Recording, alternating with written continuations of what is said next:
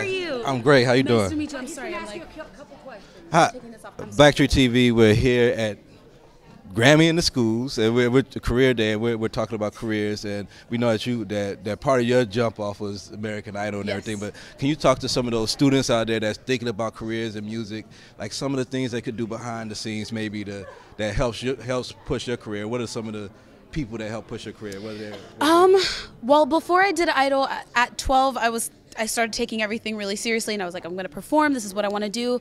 Um, I pretty much did everything I could. You know, I was singing in school. I was in drama club. I was in choir. I was, you know, singing at church, and you know, entering in competitions. Just doing whatever I could to make my stage performance better and um, to make myself more comfortable in front of an audience. Because before that.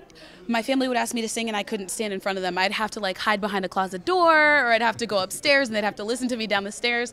Um, so pretty much just doing whatever it is doesn't by any means mean stepping on people. Do not do that.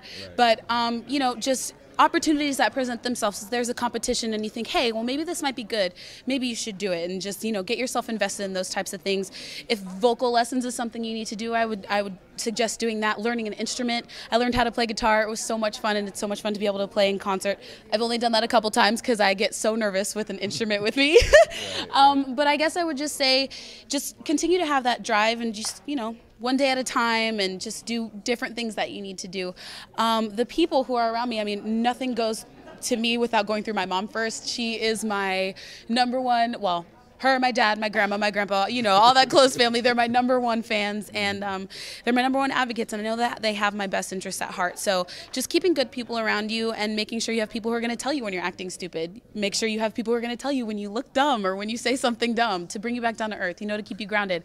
Because my mom sure does. I, she definitely does. But um, yeah, I would definitely say that. I'm sure it's not that hard with you. You're such a talent. Thanks for taking the time. you, no I know the kids are like listening and they're gonna follow your steps. Thank you. Go for it. Don't let anybody tell you you can't. All right. Thank you. Thank, you so much. Jamal, thank you.